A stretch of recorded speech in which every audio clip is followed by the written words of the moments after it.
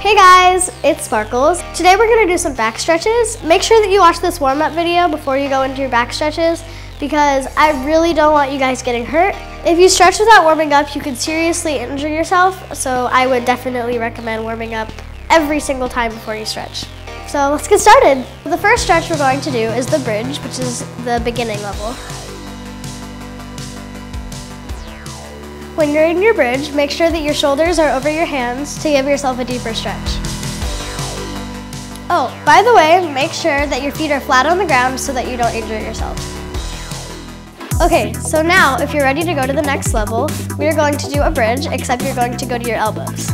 The way you go into it is you just go into your regular bridge, and then you're going to bend your elbows right under your shoulders, and rest your head on your hands.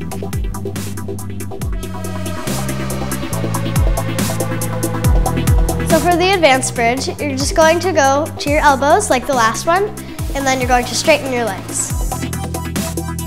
Here we go. Elbows down like before, then you're going to step your feet out like that.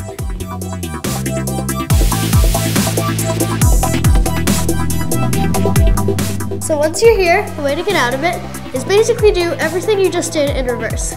So bring your feet back in, go back into your bridge, and come around. Let's move on to a yoga pose called the Cobra. So you start laying on your stomach, just like this.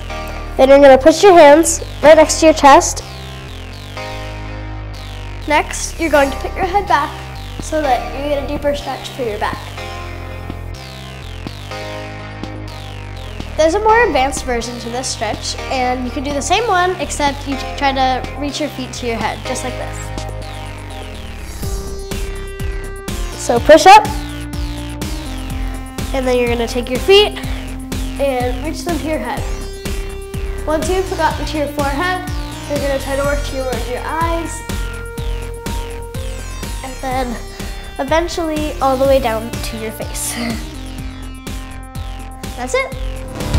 So I have another stretch for you. It includes a wall and doing the splits. Watch out, this one's a little bit more advanced.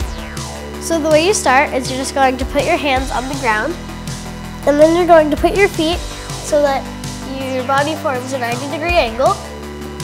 Then you're going to bring one foot up and then you're going to try to look ahead of you like this.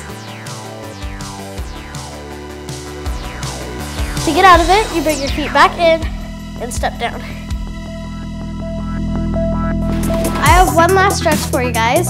Um, this one involves the splits, so if your hamstrings aren't warmed up, I wouldn't do this one. But if they are, then let's go for it. You're gonna start with just going into your splits. Either side, doesn't matter.